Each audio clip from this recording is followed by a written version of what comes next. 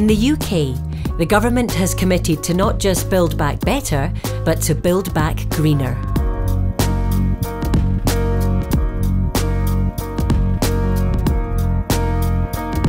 With substantial investment in clean growth throughout the UK, new tech and innovations are emerging from every region to power the way to a greener future.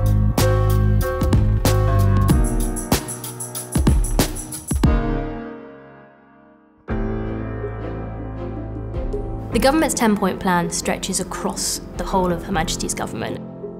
There's so much we can do to help investors to really pinpoint the right opportunities in the right areas and the right industries for them.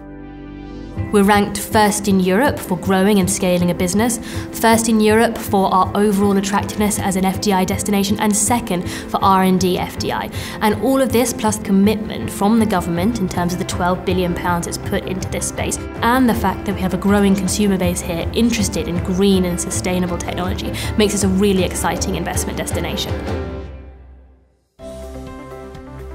The Northern Powerhouse has the great cities that were part of that first industrial revolution. It's got the world's largest offshore wind farm, Orsted, and it will have an even bigger one in Dogger Bank, which is about to start construction. There's over 24,000 foreign investors in the north of England.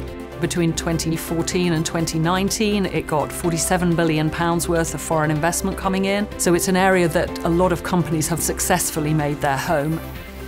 What I'm most excited about, about the North and its role in net zero, is the fact that we're bringing together an industrial heritage with a real technological hunger. You've got the real melting pot for a green industrial revolution. The Northern Powerhouse has been a very effective forum to support the growth of business in the North. Drax Power Station is big. We have six power generating units, and we've converted four of them from coal to biomass, which is a renewable source of power.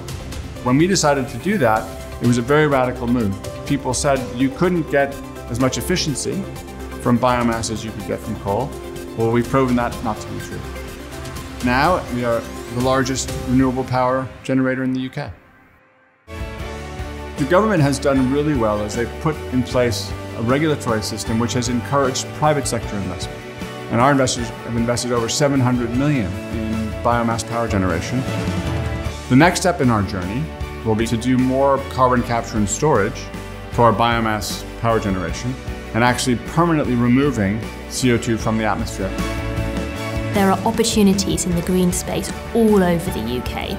I think about the investment partners coming in and seeing that, as well as the overall attractiveness of our business environment. There's really never been a better time to come and invest in the UK.